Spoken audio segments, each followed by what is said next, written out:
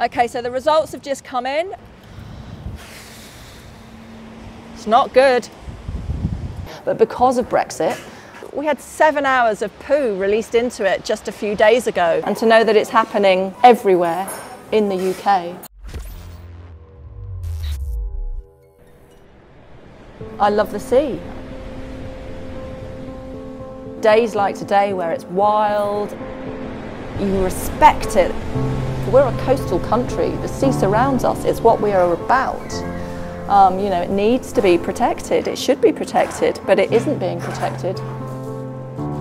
Being in the sea and its silky touch, even when it's absolutely biting cold,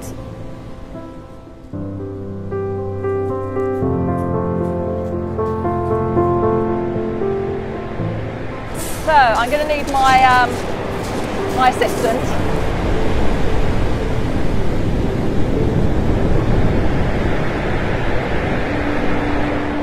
This is a good, good bottle of test water though.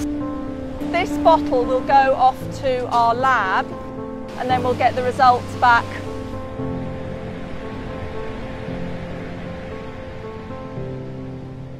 Okay, so the results have just come in. Um, it's not good. Yeah, as we thought, there's, there's E. coli in the sea. Um, it's not great. Seeing it in black and white is completely affirming. It's terrible. The United Kingdom is surrounded uh, by this beautiful thing, the sea, um, but we're not protecting it. You know, the, we had seven hours of poo released into it just a few days ago. And if that's what our rock pools and the chalk reef is like, that's what they're, that's what they're having to live through. It would be like walking through a kind of a lovely forest glade with tampons and sanitary towels and wet wipes hanging from the branches and sort of wafting past your face. It, it, it's, it's unpleasant, it's dangerous, it's not acceptable. We're going to go back to the dirty old days. Sewage releases are happening not just all around the coast, but all across the country. There are, or were, laws protecting the sea, and to know that it's happening everywhere in the UK.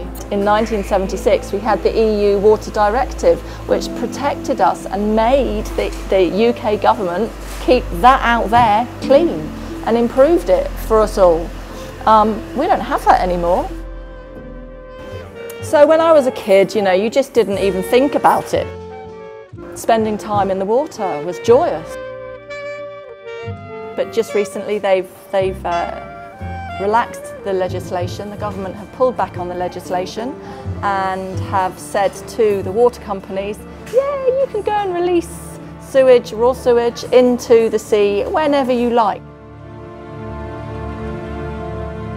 When at our local beach cleans we were finding increased sewage related debris and surfers were, were, were, finding that they were getting sicker and we were, as sea swimmers, were finding that we were getting iller and sicker um, that something's happening. I've had um, terrible stomach bugs, you know, knocking me out for days and days and days. And I, I work for the, in paediatric NHS, so, you know, I, I can't take time off. The EU have lovely, lovely clean beaches. Sure, they have some issues in some places when they have emergencies, but in comparison to the percentage of rivers and seawater um, clean beaches here, it's, it's, it's vastly different. The reason why um, the government uh, relaxed legislation on, on releasing raw sewage into our sea is because they can't get the chemicals to treat the raw sewage to the water companies because there aren't enough lorry drivers. And the reason there aren't enough lorry drivers is because we don't allow foreign people to work in the country anymore. But because of Brexit, we don't have the chemicals. I mean, a lot of people will argue that it's not because of Brexit, but nowhere else has a problem with it apart from us. So I, you know, it's Brexit. I, I, I can't understand because I do so much to protect the environment as a person, knowing that our government won't protect the environment that so many of us rely on and love. It's going to ruin tourism. I mean, that, that's one of my main worries is I don't want to see my local shops and businesses going under because nobody wants to come and spend time here. You know, I, I don't want businesses like this one here to be affected, but sure, of course they're going to be. If people know that there's sewage out there, they're not going to swim in it, they're not going to want to bring their, you know, families down.